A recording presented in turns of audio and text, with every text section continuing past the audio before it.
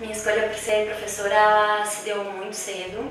Quando eu estava na sexta série, tive uma professora que me encantou e eu fui alimentando isso até o tempo de fazer a faculdade e hum, eu acho que o ser professora é, é o não ter rotina, é o tentar fazer a diferença, é tentar contar uma história, é hum, mostrar as diferentes culturas engajadas para construir um conhecimento.